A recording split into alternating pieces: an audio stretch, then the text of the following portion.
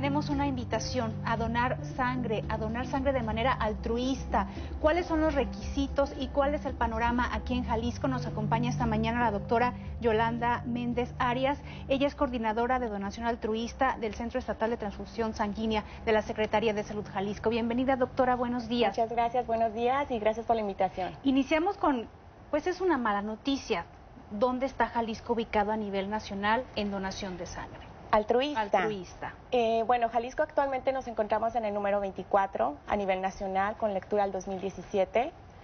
Eh, es una mala noticia, sí, pero es una buena porque estamos trabajando arduamente, la Secretaría de Salud Jalisco y el Centro Estatal de la Transfusión Sanguínea, para fomentar precisamente y dar confianza y agilizar todos los procesos para que la gente pueda acercarse a ser donadores de sangre. Confianza, ¿no tenemos confianza? Probablemente este nos, nos pasa muchas veces que llegas y dices, bueno, quiero venir a donar sangre, pero probablemente desde el momento en que te reciben, a lo mejor es tardado, eh, eh, la gente que te está recibiendo, los procesos de captura. Nosotros a veces también tenemos una atención que no deberíamos de tener con la gente. Y hemos nosotros trabajado en el centro estatal muchísimo con la finalidad de que la gente confíe que nuestros procesos están bajo norma a nivel nacional e incluso tenemos este, acreditaciones a nivel internacional. Y eso poco a poco la gente eh, empieza a tener confianza en Secretaría de Salud Jalisco y en el Centro Estatal de la Transfusión Sanguínea. Hemos trabajado en, en recertificaciones, hemos trabajado en, en acreditaciones y acabamos de ganar el Premio Nacional de Calidad en Salud 2017 el año pasado, porque al final de cuentas tenemos que ponernos en el lugar de la persona que va a donar sangre este, y vivir lo que ellos viven con la finalidad de agilizar un poquito el proceso para ir a donar. ¿Cuál es el proceso actualmente? ¿Solo hay un lugar a donde pueda acudir a donar sangre de manera altruista, el centro estatal? En el estado, en Zapopan, sí. Nosotros actualmente traemos un proyecto y un programa en beneficio de la población en donde tenemos una unidad móvil, la única a nivel nacional en estos momentos con esas características. Y la unidad móvil se mueve a todas las empresas que nos dan oportunidad de, de abrirnos su puerta con la finalidad de que si ellos no pueden acudir por alguna situación al Centro Estatal de la Transfusión Sanguínea, bueno, pues nosotros vamos, agendamos, calendarizamos, eh, damos una plática previa, obviamente, para quitar mitos, romper mitos, explicar el proceso y llegamos con la unidad móvil y el, eh, todo el proceso desde que llegamos hasta que nos retiramos, captamos solamente y exclusivamente donadores altruistas. Y este proceso no debe de llevar más de 30, 40 minutos desde que llegas, te registras hasta que te retiras donando sangre. Hemos tenido un récord de un donador en una empresa que nos abrió la puerta. En 17 minutos él se fue llegando, eh, registrándose y donando sangre ya con el refrigerio. Entonces, nosotros sabemos que las empresas tienen los tiempos medidos, o las escuelas, cuando vamos a las escuelas, ellos no se pueden retirar tanto tiempo de, la, de sus labores o los alumnos de las escuelas. Entonces tuvimos que hacer varias estrategias con la finalidad de que saber que nuestra unidad no debemos de tardarnos más de 45 o una hora este, y obviamente que esté bajo norma todo para que nosotros podamos llevarnos la mayor captación de sangre al turismo. ¿Qué tal con las empresas cuando tocan la puerta? ¿A la primera les abren? Actualmente hemos trabajado en colaboración con nuestra directora, la doctora Lupita Becerra, desde el 2013 a la fecha del día de hoy, poco a poco ha ido aumentando.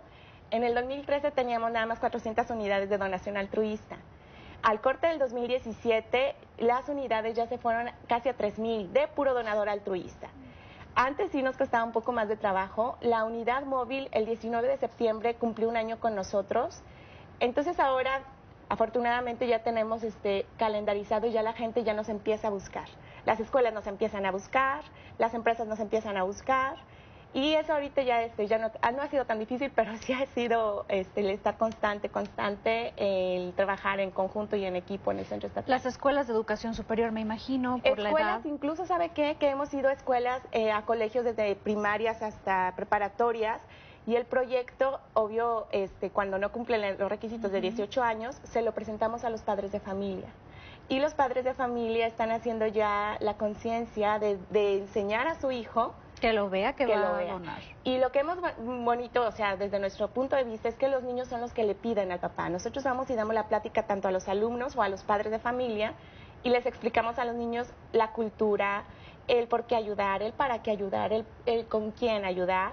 Entonces ellos van y dicen, papá, va a haber donación de sangre, este, tal día, tal hora. Entonces llegan nosotros papás y dicen, pues me trajo mi hijo, nunca había donado, pero lo estoy haciendo por, por él. Y si no llega esa unidad a donde trabaja el señor, la señora, o a una institución de educación es acudir al centro estatal. Las puertas del centro estatal están abiertas de lunes a viernes, de 7 a 11 de la mañana, en el horario que ellos quieran acudir. ¿Qué hago? ¿Hago eh, una llamada previa no Hay fichas. Si uno llega de donador altruista, la donación por reposición estamos tratando de eliminarla al final de cuentas. Y si llega alguien de donador altruista, llega y dice soy donador altruista, obviamente vamos a darle preferencia a él, este, y inicia la captura y inmediatamente pasa el proceso. ¿Quiénes no pueden donar sangre? Ok, existen muchos mitos. No se puede donar sangre cuando tuviste hepatitis A después de los 10 años de edad. Eh, no se puede donar sangre cuando tú tienes algún factor de riesgo. ¿Cuáles serían? A nosotros en el Centro Estatal de la Transfusión Sanguínea eh, tenemos un equipo eh, de alta tecnología en donde nuestros periodos eh, se nos resumen a cuatro meses de edad. Si tú te vas a otra institución privada o pública, te van a diferir por 12 meses. Nosotros solamente cuatro meses. Tatuados, no piercing, no perforaciones, no acupuntura, no tatuajes, no varias parejas sexuales, no este, nueva pareja sexual, cuatro meses a la fecha del día de hoy. Eh, no cirugía, seis meses a la fecha de la donación. Eh, no Zika, dengue o chikungunya a las seis meses a la fecha de donación. Entonces, en otras instituciones o en otros bancos de sangre que no tienen el equipo que nosotros, eh, con el que nosotros contamos, porque al final de cuentas sabemos la importancia de, de, revisar efectivamente que la sangre sea segura, tenemos un equipo de alta vanguardia que estos elimina, en lugar de 12 meses, ahí no sea periodo de espera, a cuatro meses a corta. Porque a lo mejor esa persona se le olvidó una fecha o miente en sus respuestas. Es correcto y a lo mejor esa sangre ya no es tan segura. Hay un proceso de Exactamente. Es por eso cuando uno va a donar de manera altruista, tú no tienes eh, la angustia o la presión por alguien, algún familiar. Entonces, cuando nosotros buscamos la donación altruista, la gente es bien honesta.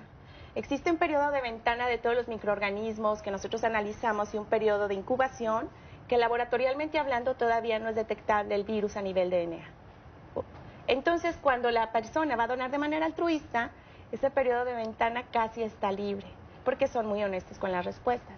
Versus a la gente que va a dar donación por reposición, es ahí cuando nosotros eh, tenemos que tener un poquito más de cuidado en el sentido de, y, decirle al paciente, al donador, este, tenemos que ser honestos, etcétera, pero ese es el motivo por el cual estamos nosotros fomentando la donación altruista. Si a mí me fueran a transfundir, a ti te fueran a transfundir, o a alguien de nuestros seres queridos, quisiéramos que esa sangre sea lo más pura, limpia y sana y segura, es correcto.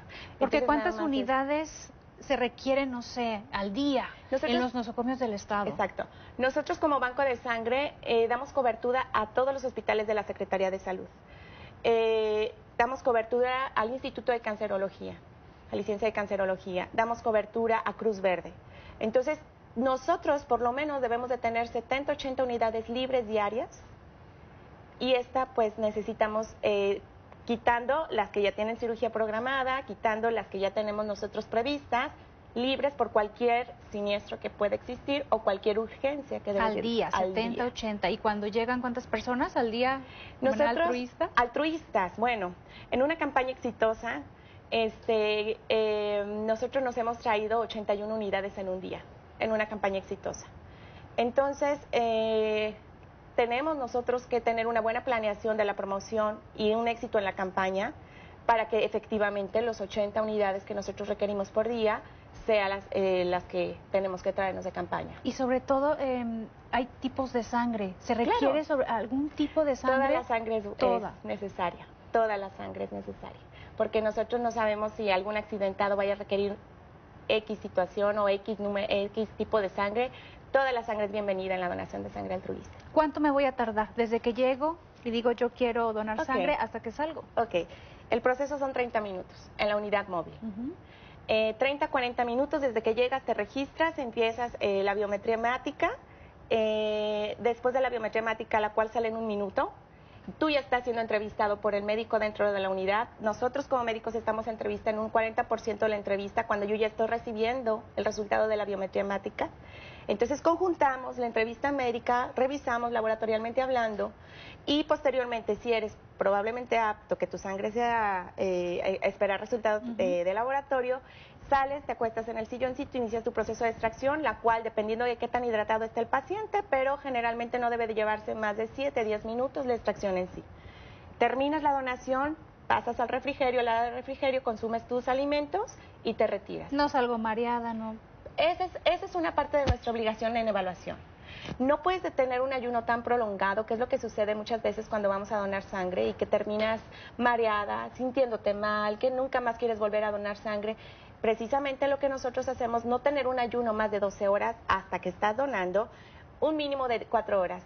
Mucha gente cree que al ir a donar sangre no les van a tomar una química sanguínea y no ellos dejan de comer, están tomando, no, toman agua, entonces entre más hidratados pueden comer fruta, un juguito, café sin leche, con azúcar e ir a donar sangre. Bien, pues déjenos la dirección, doctora, y también algún teléfono para más claro información. Que sí. Eh, nuestro domicilio es Avenida Sotipa número 1050, les dejo el correo electrónico promoción.sets@gmail.com y mi teléfono por cualquier cosa que requieran 33 18 48 55 51. Gracias. Estamos a sus órdenes. Gracias, doctora Yolanda, un gusto. Vamos a la pausa, regresamos con más.